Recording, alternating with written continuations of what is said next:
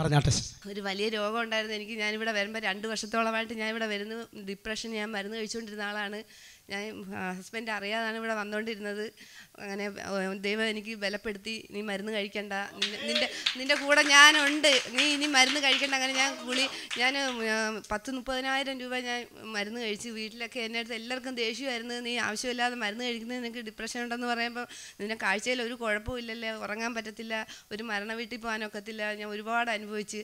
അവസാനം ഞാൻ ദൈവത്തിന് ഏൽപ്പിച്ച് ആ ഗുളിയെല്ലാം ഞാൻ എടുത്ത് കളഞ്ഞ് ഇപ്പോൾ രണ്ട് ഞാൻ വർഷം രണ്ട് വർഷമായിട്ട് ഇവിടെ ഞാൻ വരുന്നു ഇപ്പം ഞാൻ ഒരു മരുന്നും കഴിക്കുന്നില്ല.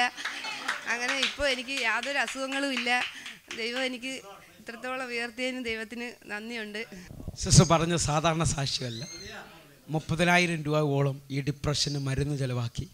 എന്നാൽ ഈ സഹോദരി രണ്ട് വർഷമായിട്ട് എനിക്ക് വളരെ അറിയാവുന്ന ഞാൻ സ്നാനപ്പെടുത്തിയ കുടുംബമാണ് സഹോദരിയ ഹലരിയ സിസ്റ്ററിന്റെ സഹോദരിയ അവിടെ ഇരിക്കുന്നത്. ഇവർ രണ്ടുപേരെ ഞാനാണ് സ്നാനപ്പെടുത്തിയത്. ഹലലൂയ ഒന്ന് ഒന്ന് ഒന്ന് ഒന്നുകൂടെ പറഞ്ഞാൽ ആരാധന മുടക്കാത്ത ഒരു സഹോദരിയ. ഹലലൂയ ഒന്ന് നിങ്ങൾ എത്ര പേർ കരമുയർത്തി ഒന്ന് നന്ദി പറയാൻ തയ്യാറാക്കും. ഈ സഹോദരി പറയുക ഇന്നൊരു രോഗവുമില്ല. അല്ലെങ്കിൽ നേരത്തെ നേരത്തെ ഉറങ്ങാനൊക്കെ പാടായിരുന്നല്ലേ? ഉറങ്ങാൻ പറ്റത്തില്ലായിരുന്നു. ഹലലൂയ എന്നാൽ ആ ഡിപ്രഷന് മരുന്ന് ഇപ്പം കഴിക്കുന്നില്ല. മരണ വീട്ടിലൊന്നും പോകാൻ പറ്റത്തില്ലായിരുന്നു.